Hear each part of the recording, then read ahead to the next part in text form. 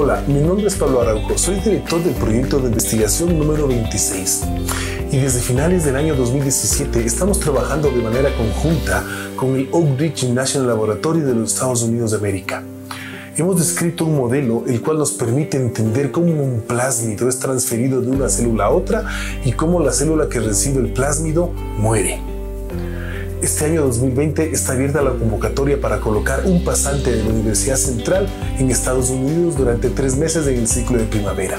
Si estás interesado, los requisitos son los siguientes. Primero, lenguaje de programación.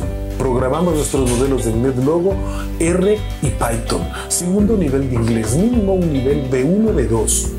Tercero, vinculación con la Universidad Central del Ecuador. Puede ser profesor, técnico docente o empleado o trabajador. Y cuarto, titulación. Título de tercero o cuarto nivel que no sea doctorado.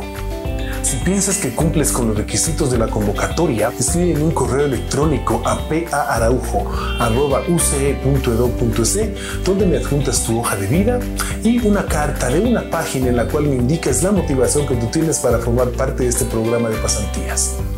Gracias.